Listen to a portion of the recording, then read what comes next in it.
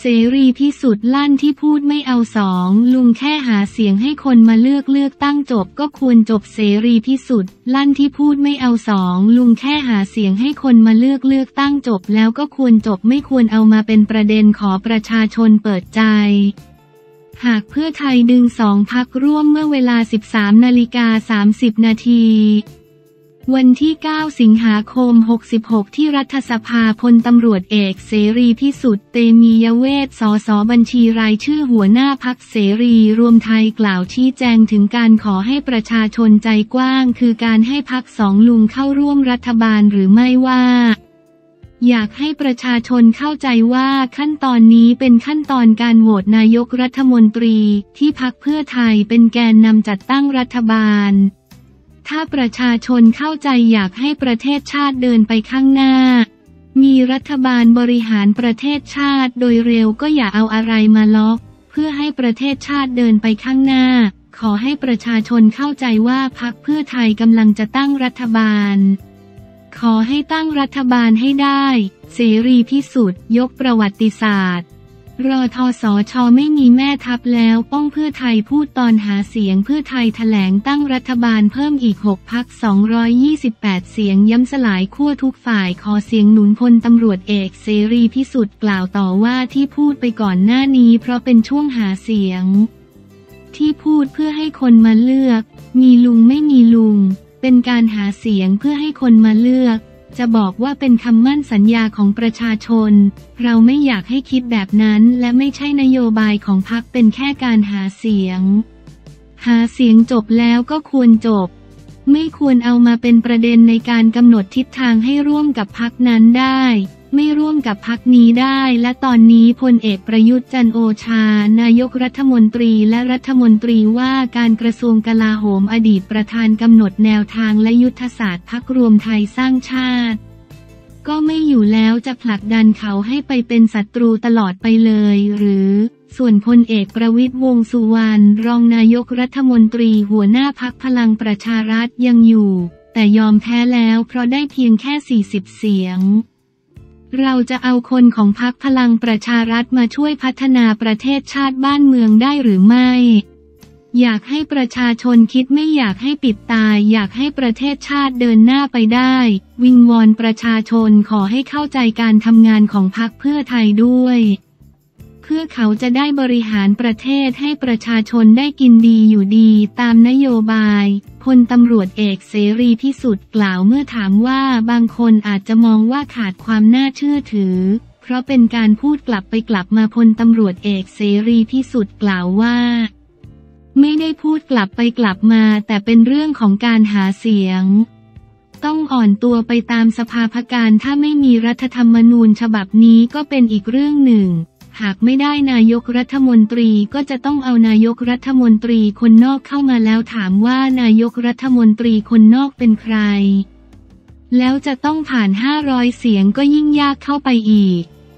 ฉะนั้นต้องช่วยกันสนับสนุนตรงนี้ ถ้าไม่ช่วยกันก็จะเดินไปสู่นายกรัฐมนตรี คนนอกก็จะทำให้ประเทศปิดตายไม่ต้องมีรัฐบาล ทั้งนี้ขอให้เชื่อมั่นในพักเพื่อไทย ว่าจะบริหารบ้านเมืองได้อย่าไปทำให้ควายเขว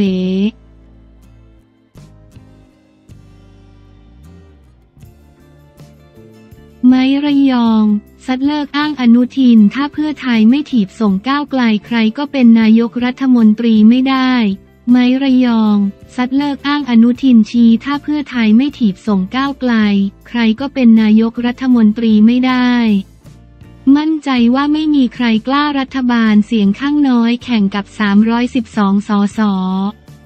แน่นอนวันที่ 9 สิงหาคม 2566 นายพานุพงษ์จาดนอกหรือ ไมระยอง นักเคลื่อนไหวทางการเมืองทวีตข้อความผ่านทวิตเตอร์ส่วนตัว เกี่ยวกับประเด็นที่พักเพื่อไทยขอคะแนนจากพักก้าวไกลให้ช่วยโหวตแคนดิเดตนายกรัฐมนตรีจาก พักเพื่อไทยเพื่อจัดตั้งรัฐบาล โดยระบุข้อความดังนี้ เห็นพูดกันเยอะเลยว่าถ้าก้าวไกลไม่ยกมือสนับสนุนเพื่อไทย ผลที่จะตามมาคืออนุทินจะได้เป็นนายกก็ขอพูดบ้างว่า ถ้าเพื่อไทยไม่ปล่อยมือก้าวไกล ใครหน้าไหนก็เป็นนายกไม่ได้ ด่าได้เลยนะ แต่ผมมั่นใจว่าไม่มีใครกล้ารัฐบาลเสียงข้างน้อย แข่งกับ 312 แน่นอน เพราะมันไม่สามารถบริหารได้ ถ้าไม่เชื่อให้เพื่อไทยกลับมาดิแล้วรอดูกัน ส่วนคนที่อ้างว่าเพื่อเศรษฐกิจปากท้อง ก็พูดกันตรงๆว่าปัจจัยหลายๆ อย่างไม่สามารถพลิกฟื้นเศรษฐกิจกลับได้เร็วขนาดนั้น ทั้งเรื่องสงครามสภาพการเงินในคลังรวมถึงความสัมพันธ์ทางการค้า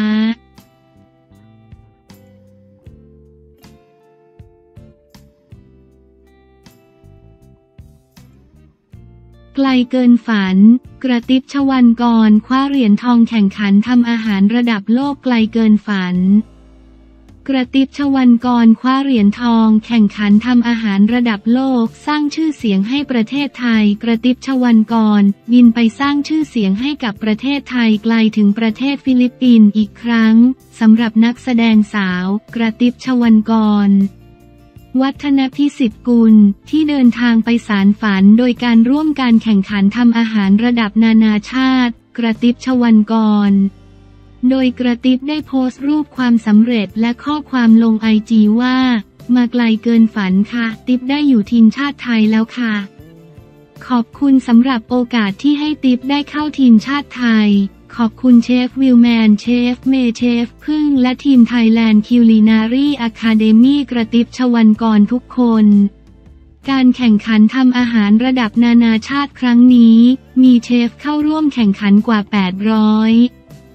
คนจาก 15 ประเทศตัดสินโดยสมาคมเชฟโลกติปได้หนึ่งเหรียญทอง Philippine Culinary Cup World Food Expo Best Pasta Overall Champion with Gold Medal Award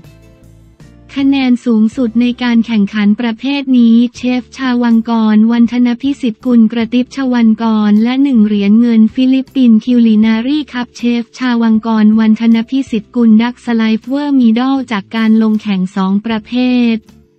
ขอบคุณแอร์เอเชีย ขอบคุณ Chitralada Technology Institute ขอบคุณสถานที่ซ้อมคิ t เช่นแลบบายคิ t เช่นเวิลด์ขอบคุณคุณแม่ที่เป็นแรงบันดาลใจ ขอบคุณป้าป๋าขอบคุณปั่นและทุกๆ คนที่คอยอยู่ support มาตลอด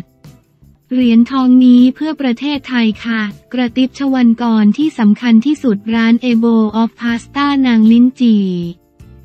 Mess Dining สำหรับทุกๆอย่างค่ะ ใครอยากกินพาสต้าอร่อยอร่อยหรืออาหาร fine dining เลิศเลิศพลาดไม่ได้ค่ะ งานนี้มีรุ่นพี่และเพื่อนพ้องในวงการบันเทิงต่างเข้ามาร่วมแสดงความยินดีจำนวนมาก อาทิบุ๋มปนัดดา ซานิเชียร์ที่คำพร ใต้ฝุ่นกนกฉัดเป็นต้น